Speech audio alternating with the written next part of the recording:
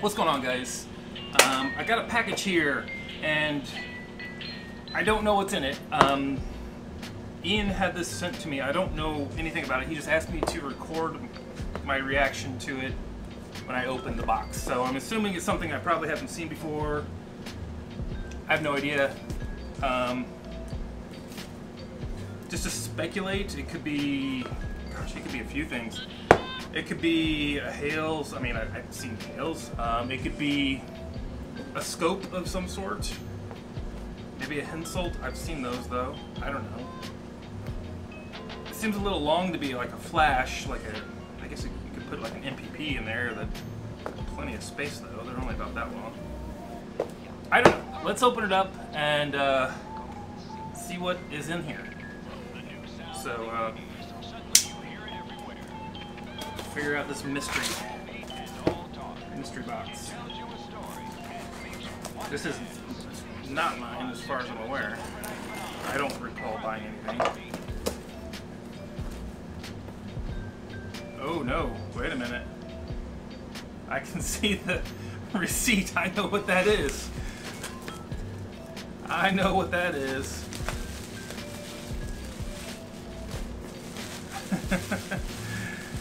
Oh, snap.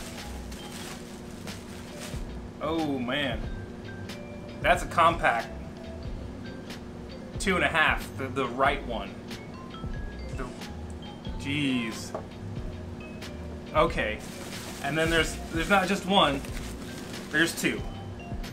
But this one's the same as what I have, I believe. Yeah, 4X. Oh my gosh.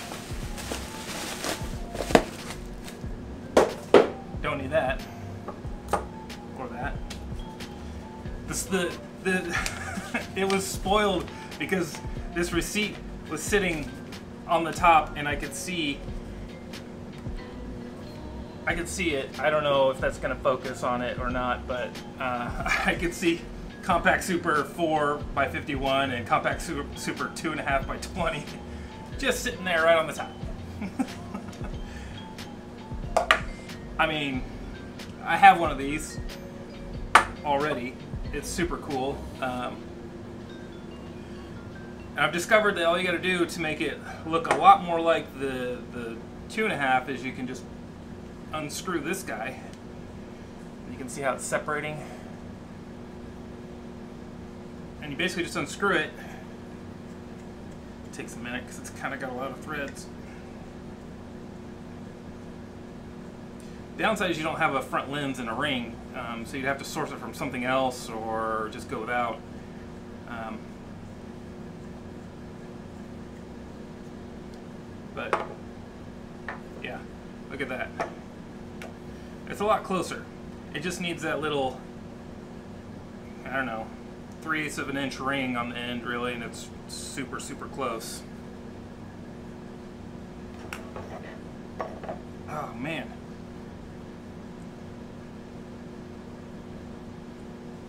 Super two and a half.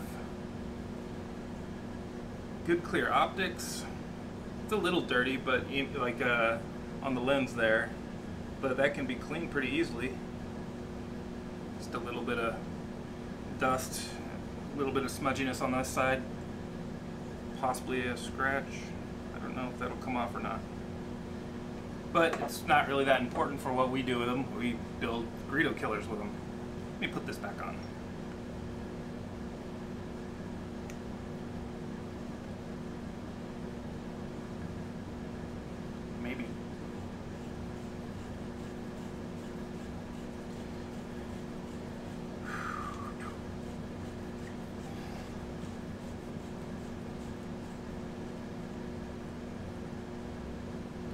Man, that's really cool. Um, it's finally finally getting to see the real one. It's always nice to see the exact correct part, you know, every once in a while. To know they actually exist because these things are so freaking rare. You know, it's like I've seen a total of what three of these now. Two of them are the 4X, and this is the only real correct version. So, wow. yeah, let me get some cool uh, close-up shots of this um, for you guys to to salivate over.